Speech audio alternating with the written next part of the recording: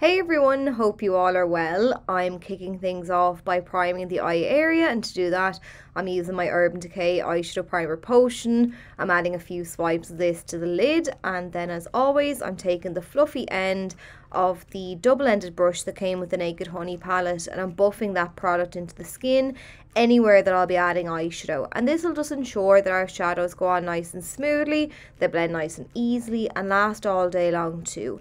Now as we are working with colourful shadows today you could go one step further and add an eyeshadow base. Sometimes I add a white base to make those shadows pop that bit further but these ones do a good enough job on their own. So I'm starting with an old palette today. This is the Sleek Ultra Mattes Volume 1 palette and I'm taking that vibrant matte green on a Coastal Scents BR250 brush and I'm going to start adding this colour into the crease of the eye. So using back and forward sweeping motions to begin with, I'll then add a mix of circular motions to get that product off of my brush and coat the crease and once I've the shadow on there and no product left on my brush, I'm going to work on blending it out. So it does look quite harsh now, which naturally we don't want. So what I'm going to do now is then is place the brush down on the edge of that eyeshadow. On that very edge, I'm going to run my brush over back and forward and I'll start to pull the shadow then in the direction that I want. So I want that outer edge to be nice and elongated. So I'll pull the shadow outwards um, towards the tail of my brow and then I'll just keep moving my brush up a little higher towards the brow bone as I'm blending back and forward to fade that shadow out to nothing the closer to the brow bone that it gets. So I've one layer on there now. I'm going to dip my brush back into that green shadow and I'm repeating the steps. So adding the shadow back in the crease, layering it up so it's nice and vibrant. And you know by now I do this in several layers. I start with a small amount of shadow on my brush at a time, add and then blend and repeat this process until I'm happy with the level of intensity of the shadow and the blend of it as well. Now I'm taking that darker green in the palette on that same brush now and I'm going to start to add a bit of dimension to the look. So this time I'm starting by patting the shadow down on the outer third of the lid and then I'm using circular motions to sweep that colour up to and into the crease of the eye and I'm mainly focusing this shadow on the outer portion because that's where I want to focus my depth and darkness.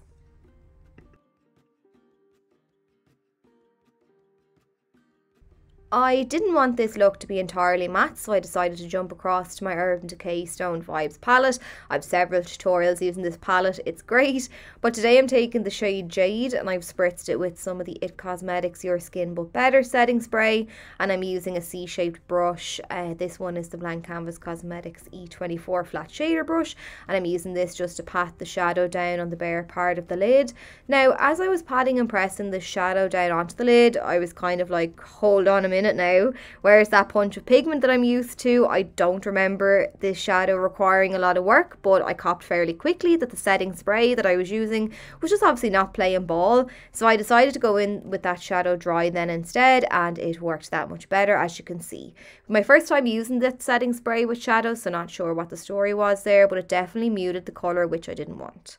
I'm all about the sleek palettes today, so I'm going in with the Acid Eyeshadow palette and I'm taking that matte black up on another Blank Canvas Cosmetics E24 and I've just worked the black into the brush. As you can see, it's basically just coating the tips of the bristles and I'm pressing this into the very outer edge of the lash line sweeping the shadow gradually upwards, coating the lid, and then I'm overlapping the crease slightly. I want to add a very small amount of black just to add some depth, and that's why I've applied it in this way.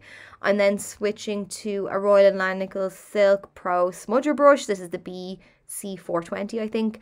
And I'm using this because it's nice and tapered. So even though I do need to blend that black eyeshadow out I can still be quite precise when doing so to make sure it doesn't get out of hand and cover up that green.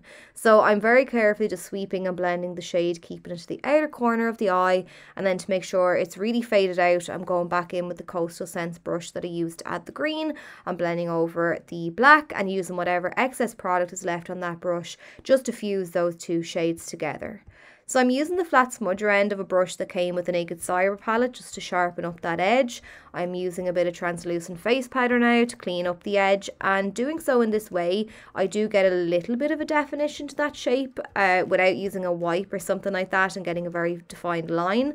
I still want an angle but I want it to be a bit soft and smoky at the same time, if you get me. So I'm now going back to the palette. I'm taking this Vibrant Matte Orange on my bullet shape brush from Vanity Planet. It's discontinued, um, I'm pretty sure, but any pencil style brush will do. And I'm using this to sweep that uh, orange shade all the way down along the lower lash line from outer to inner corner and then I'm taking a very much loved Urban Decay 24-7 Glide On Eye Pencil in the shade Torch to coat my waterline. I'm just closing my eye around the pencil to coat both top and bottom waterline. So I wanted the waterline to be a bit more vibrant now, but I didn't have a more colourful liner. So I'm using Torch as a base and I'm picking up that orange eyeshadow on a Smashbox liner brush 21 and I'm pressing this over the top of the liner on the waterline and this just sets it in place makes it last all day and as you can see now it gives me a makeshift neon orange liner I'm taking a small touch of that black eyeshadow again now and using an angled brush. This again is just from Vanity Planet, but any will do. And I'm pressing this underneath the lashes and very roughly then I'm using my bullet shape brush just to really blend and fade it out. I'm going to go back in then and apply a little more and fade it out until I'm happy with the finish. I don't want a really harsh black line underneath the eyes but I do want a little bit of separation between the orange on the lash line and the orange beneath the uh, lash line as well. So now I'm just doing some finishing touches. I'm giving that crease area another little blend. I noticed it could do um, with one, it just could be a bit better. So uh, I've just blended some more and then I've added some of the Sosu lashes in Desire. And now I'm using the uh, L'Oreal Air Volume Mascara to blend my own lashes in with the false ones and then to coat the bottom lashes too. And then that's it. So I hope you enjoyed the tutorial. I hope you have a brilliant St. Patrick's Day and I'll catch you all soon.